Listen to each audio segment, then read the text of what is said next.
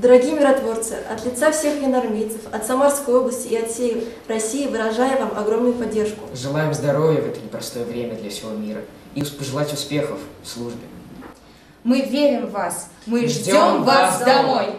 Елизавета Кораблина в юнармии уже третий год. Марширует, стреляет, участвует в патриотических акциях и чувствует себя прекрасно. Говорит, приятно рушить стереотип, что не женское это дело.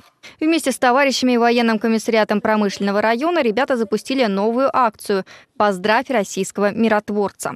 Силу духа, воли. Я знаю, что сейчас находятся они в Нагорном Карабахе. И это очень ответственно, это очень важно а, не только для жителей местных, а не только для нашей области, для России также. Нужно иметь большую силу духа, волю. Первыми к акции подключились учащиеся сотой школы. 15-я миротворческая бригада, военнослужащие которой отправились в Нагорный Карабах, шествует над школьным юнармейским отрядом. И мы очень гордимся тем, что наша бригада находится сейчас с такой замечательной миссией. Елена Монакина преподает детям уже больше полувека. Сегодня урок ответственный. Дети рисуют открытки для миротворцев. Легкими взмахами кисти на белоснежных листах проявляется детская искренняя любовь и поддержка. Это дети мирного времени, им нет и 18, но ответственную миссию миротворцев понимает каждый. Конечно, сложно. Но в то же время они понимают, они же кино смотрят, они книги читают, связанные с миром.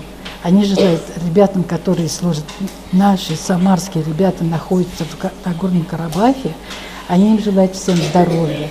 Не только нашим самарским, но всем ребятам, которые борются, помогают, ну, являются настоящими миротворцами. Полковник Алексей Вдовин по своему опыту знает, насколько важно солдату получить мирную весточку, поддержку с родной земли. Очень важно, потому что обстановка там, мы знаем, сложная, напряженная, и хочется почувствовать поддержку не только своего командования, родных, близких, но и то, что все жители нашей Родины поддерживают э, наших военнослужащих. Письмо или рисунок можно отнести в районный военный комиссариат до 25 декабря. Перед Новым годом специальный военный самолет отправит письма адресатам. Открытки разместят в отдельной палатке. Мария Левина, Сергей Баскин. События.